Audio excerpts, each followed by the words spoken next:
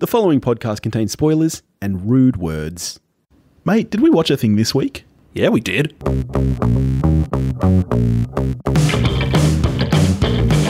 Hey, welcome to the podcast. Thank you for joining us. Um, this is We Watched a Thing. That means, Billy, you must be my friend Billy. Who did you think you were talking to, mate? Yes, it's me. No, it all makes sense. How are you, my friend? I'm okay, mate. I'm okay. Do you know one reason I'm happy? What's that? I realized you owe me $10. Do I? I mean, that that does track. That sounds like me, but what's the specific reason? It could be anything. Did did you buy me nuggets? Did we make a bet? Like Actually, no, you bought me nuggets. I, I did, so it all checks out then. Avengers Endgame was not nominated for Best Picture. oh yeah. It occurred to me. Yeah, yep, it sure wasn't. Yep. And you owe me 10 bucks. Okay, but I did buy you nuggets last night, in fact. So I think, Literally last night. Let's call I think we're fine. let's call it square. I mean, nuggets aren't exactly 10, but like the Oscars were a long time ago. So I think by the time you take inflation into account, You're saying that the bet has depreciated. yes, absolutely. Yes. I thought maybe there'd be like some some some interest maybe. No, no, no. I'm telling you right now, no one's interested in this. but we're, we're not talking about Endgame or Nuggets this week. What are we talking about, my friend?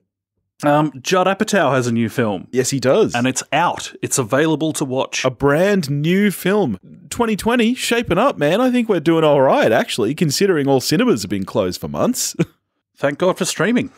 Yeah, thank God. Can you imagine if, well, I was going to say, could you imagine if this was before streaming, but really, could, could you imagine what, like, the 1918 pandemic would have been like with no anything? Just nothing. Oh, that would have been rough as guts, wouldn't it? Did they even have plumbing? Maybe not. Maybe that's how they got into that situation.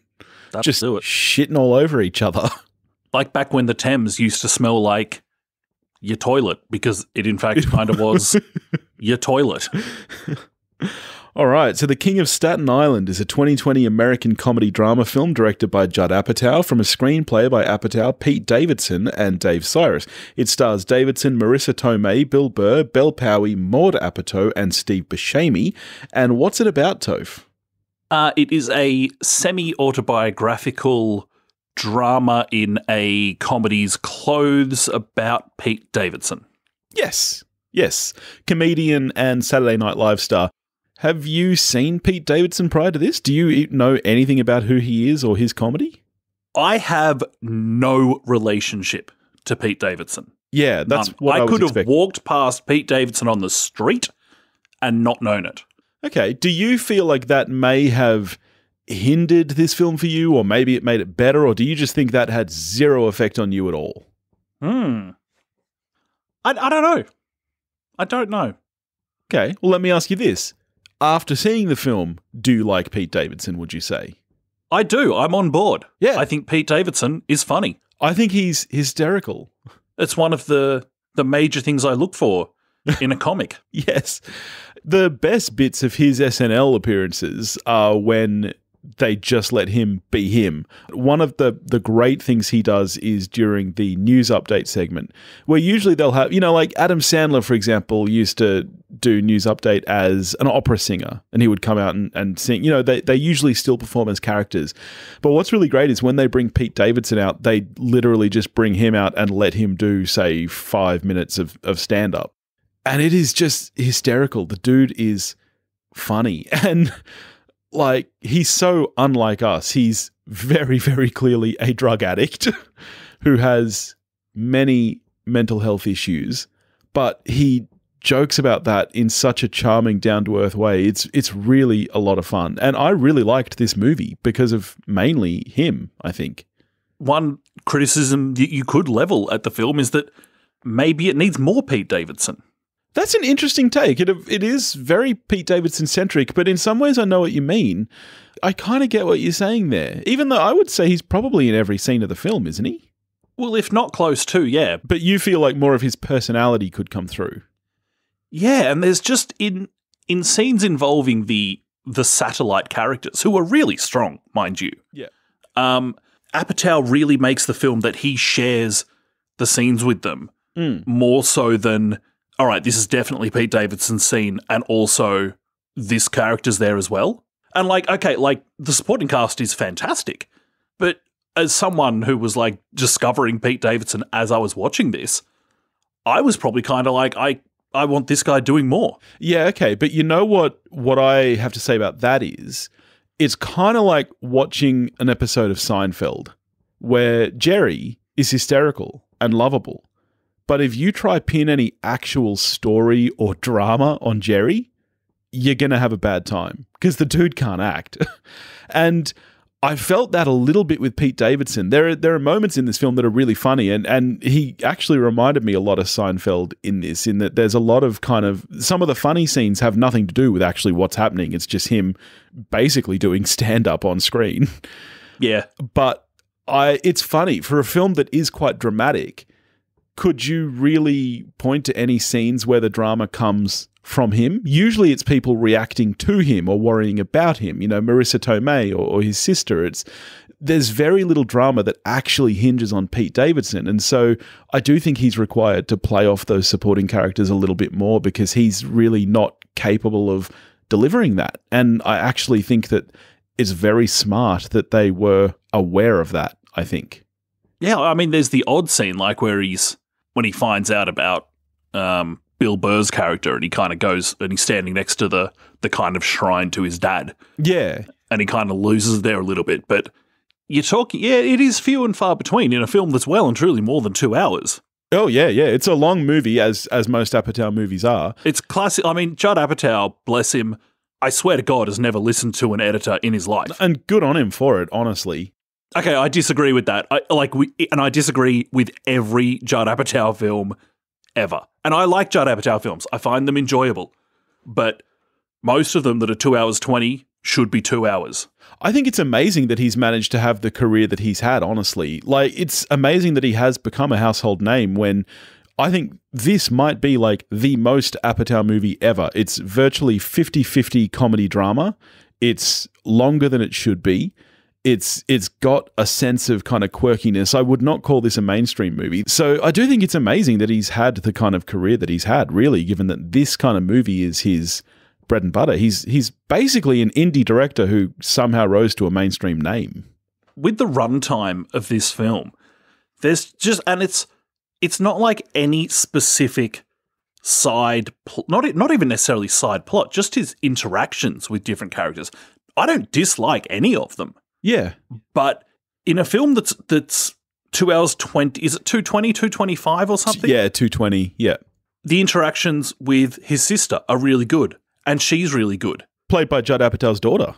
I didn't know that. Yeah. Yep, that's Maude Apatow. That's that's uh, his and Leslie Mann's offspring. Well, I thought she was good. Then you've got the stuff with his friends and and the robbing of the drugstore, which it like it's quite good. It's all good. But at some point, you're like, you could lose, like, pick a thread. You could lose one of these threads, and ultimately, I actually don't think the film would suffer for it. It would just move along at a better clip. Yeah, I agree because, like a lot of of good Apatow movies, it, this is really more of a character study. Really, like as you you, you barely even you, kind of couldn't even find a right word for it. They're not really subplots. Thread, I think, was a good word, or vignettes, because they are kind of they're unrelated, but because they're through the lens of the character, they are related. Yeah, it's almost episodic. Exactly. So you easily could lose any of those segments. You know, the the Fight Club at work, for example, completely irrelevant. You could lose it instantly. Yeah, but funny. Definitely funny, as you as you want in a comedy. That's what you're looking for. so yeah, on on the cast and the supporting cast, I loved Pete Davidson. I loved Maude Apatow. I thought that this was uh, Marisa Tomei's best role in years. Yeah, I thought she was unsurprisingly very good. She um, was fantastic. Like, yeah, Marisa Tomei is just very good. She really is. yeah, I think the revelation probably in a lot of her scenes is Bill Burr, who I don't think I've ever seen Bill Burr act before.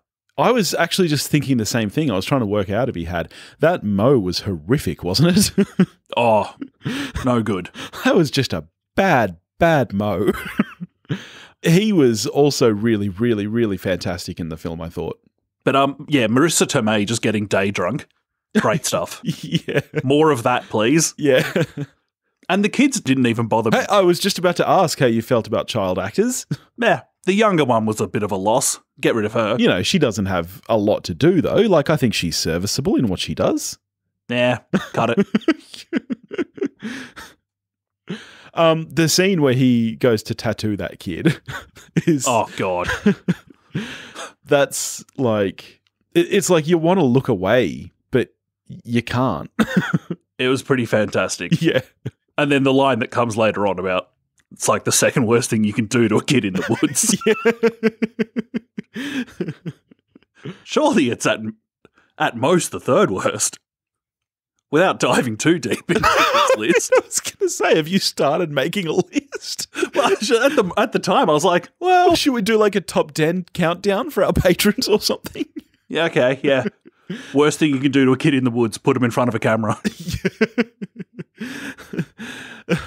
I actually no, I thought this kid was great. He reminded me of um uh, have you seen Parenthood? Yeah, but it's been it's been so Oh, long. I was going to say if you hadn't, I would have made us do it for a throwback because it's one of my favorites. Um, the little kid in that, Gary, who is kind of like, uh, you know, Keanu Reeves is his father figure in some ways. He reminded me of that kid. It's really good acting, I thought. Can you? What's what's your thoughts on this? Can you just walk into a fire station? I had the same thought. I have a feeling that in America you can because I know that, like, you know, for example, the old thing about leaving your baby at the fire station. Like, There's a thing about that. Oh yeah, yeah. Like if you're going to dump a baby, that's where you don't dump them at the police station or anything. You leave them on the steps of the the, the fire department. Did you not know that? Isn't that a thing? Uh, well, having abandoned zero babies, Look, I'm not saying that it happens often, but I'm just saying it's it's it's a thing I've heard is that babies get left at the fire department. Yeah, so when you when you were last googling, Where to leave my babies? no, I, I I love my children. sometimes Some sometimes, not tonight. She was a real shit tonight. Good thing she's not old enough to listen to this yet. But in days to come, when well, not hopefully not days, in years to come, when I'm on my deathbed and she's going through listening to these, you know, to kind of reminisce about what a dickhead I was. I love you, Ellie. if you complain, you're out of the will. Um, no, I swear that that's a thing that I've heard that that you know you leave babies at, and I I think that in the states, particularly in smaller towns, I feel like they are kind of very community based fire stations, and I know that there's a lot of like volunteer firefighters and stuff. So yeah, I think you can actually just kind of walk into them. They vote there, don't they? Do they? I've got I've got a suspicion that in the US, some some fire stations are polling places. So this on, on this election this day. episode has just turned into us talking about things that we suspect may happen at US fire stations. I suspect you leave babies there. You suspect you vote there, possibly on the same day, even. hey, two birds. well, see, because here it's primary schools. I just assumed that that was universal because you know everywhere has a primary school. Some people probably think that's very strange. Yeah, maybe. I guess I never even thought of that. I mean, hopefully they still have sausage sizzles over there on voting day. I don't think they have election day sausages. Well, that's just ridiculous. What's the point of going to vote if you don't get a sausage? The the democracy sausage is the reason to vote. yes, that's why. Well, that and it's mandatory here, and you get fined. Well, yeah, that's that's right. Here you have to, but, but I would anyway because those sausages are good. But yeah, that scene where that big dude comes in with the shot slash stab wound, that took me by surprise. Yeah. So you also in America, you don't go to hospital if you've got a stab wound. You go to the fire station. Well, I, I I think that it was clear that that guy had been involved in illegal activities, so he didn't want to go to a hospital or police station or anything and, and admit what he was up to. I think he was just looking for someone who could help him. Also, here we have healthcare, so we can go to the hospital. Sick burn. Hit him where it hurts, man.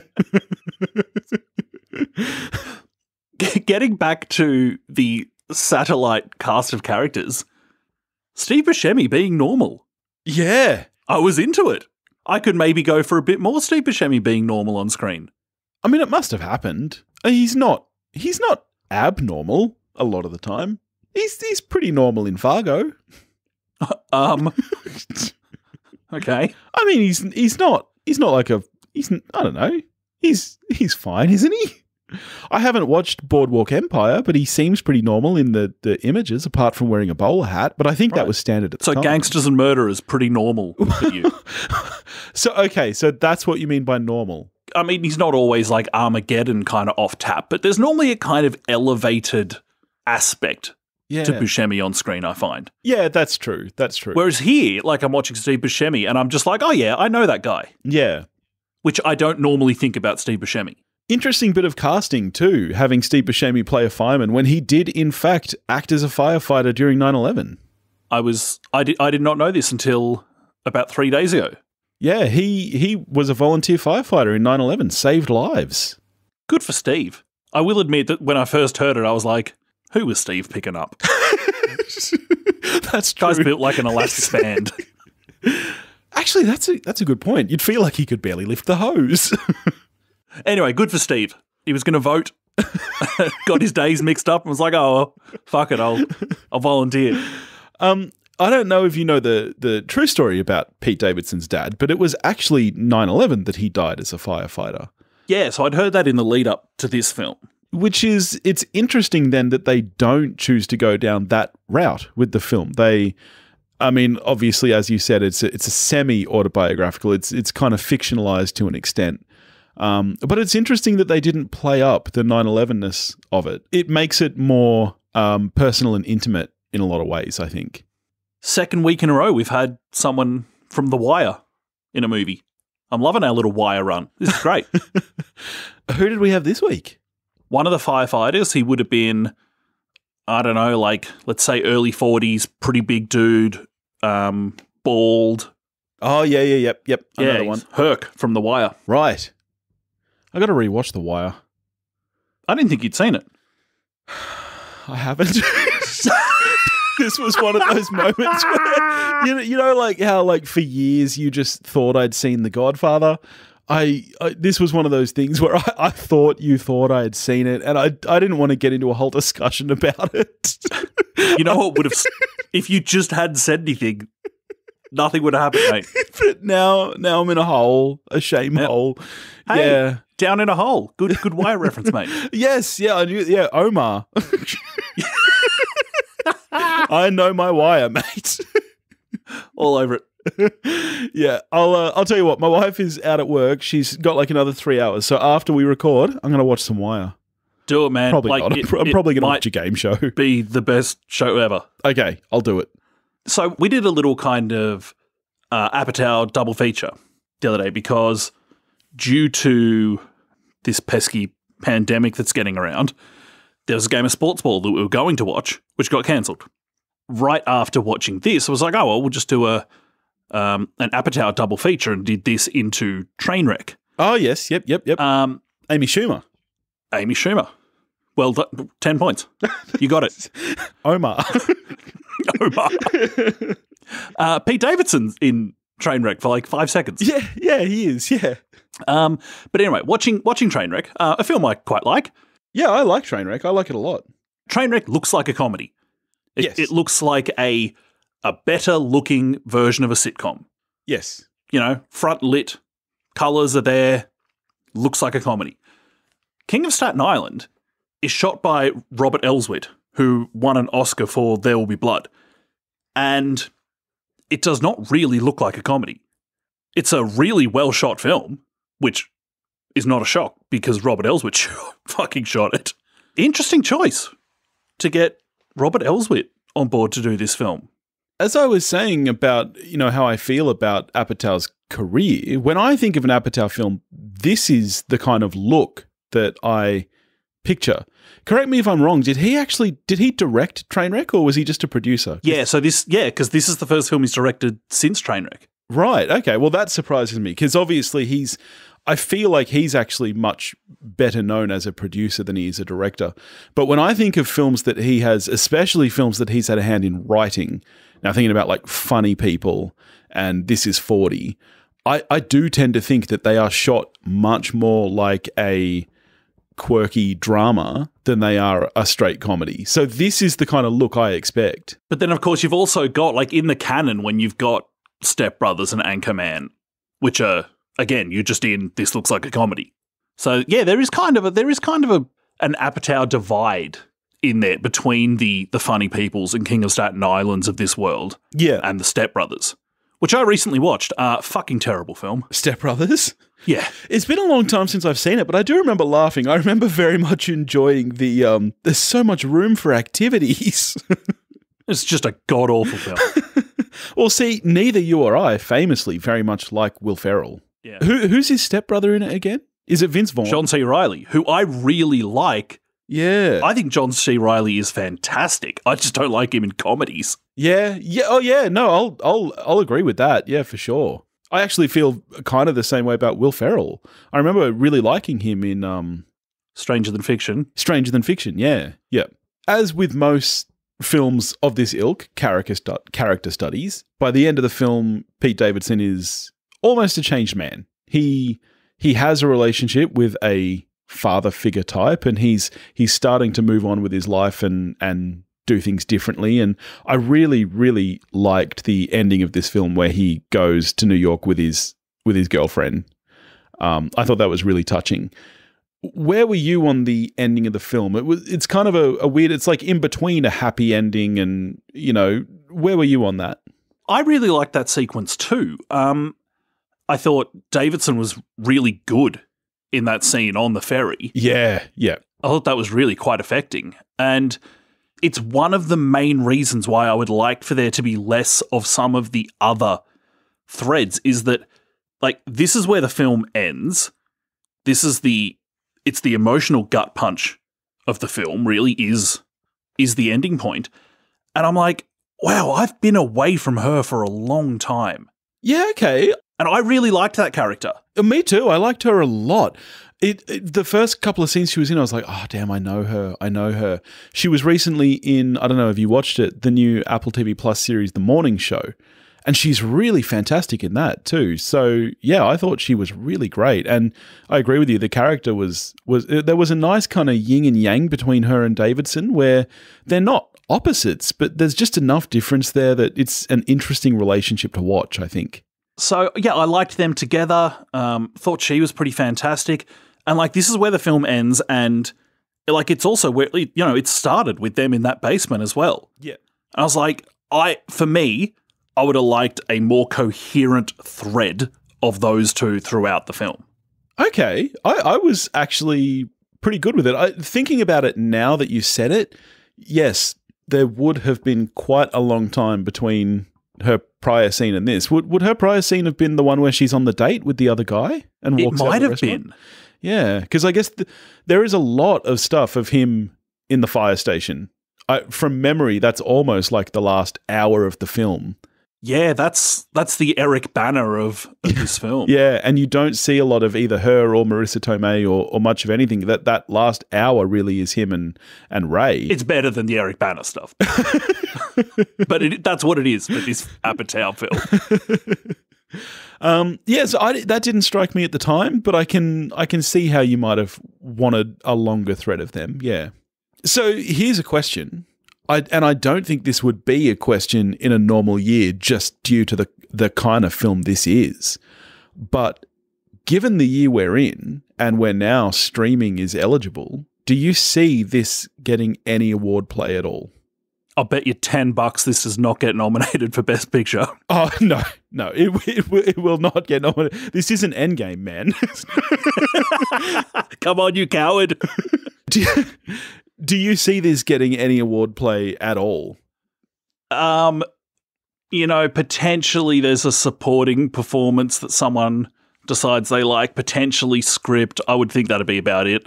Yeah, I, I agree. I think to me this it sits in a similar boat with say the the Big Sick from a couple of years ago, which from memory was nominated for screenplay only, but yes, didn't win that's right. anything. To me, that's a shame because I think that was. A, a really great film, but I could see this potentially getting a screenplay nod, just kind of because of the source material and because Pete Davidson is an interesting guy. People like Apatow, and yeah, like- if you're going to throw a supporting nom, maybe Marisa Tomei. I don't know. But yeah, I don't. I, I wouldn't even ask the question in a normal year, really. But I'll be curious to see if if people do remember this film come awards time.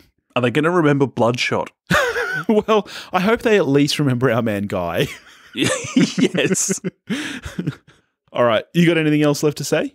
No, I think I'm good. Okay, how how are you scoring this? Um, I quite enjoyed this. I, like certainly not without its faults for me, but I enjoyed it. Six out of ten. Yeah, okay, I'm a, I'm a seven out of ten. I probably could have even stretched to an eight, except that I do agree with you that the film, as with all Apatow films, is just too long. It's just Definitely an Apatow film. it's just too long. So yeah, it's a seven for me, but I I definitely it's a recommend. All right, what are we getting to next week, buddy? Don't know, mate. We have no clue. Um, all right. Well, uh, Artemis Fowl just dropped on Disney Plus. That is meant to be a genuine steaming pile. It is meant to be pretty bad, isn't it? Becky, new horror movie with um, Kevin James as as the villain. Oh, the one where he's got a beard. Paul Blart, unemployed. Any of those tickle your fancy, buddy? Ah, we'll see. It, next next week is just going to be a surprise. We don't know. We'll, we'll we'll leave it as a surprise for the listeners. Yep. All right. We're not deciding here and now. okay, we will watch something though. I'm happy to confirm that we'll watch something. It could happen. I mean, if we do a throwback, is it my turn? No, it's my turn. Oh, Because the last one we did, while the last one we did was No Country for Old Men, that was my win for Oscar tipping, not my turn at throwback. All right. In the meantime, if you want to get in touch with us, you can do that at wewatchedathing.com or wewatchedathing at gmail.com. You can find us on Facebook, Instagram, and Twitter, all under the handle at wewatchedathing. If you want to help support the show, you can do that at patreon.com forward slash wewatchedathing, and we'll catch you next week. Watch a movie, folks.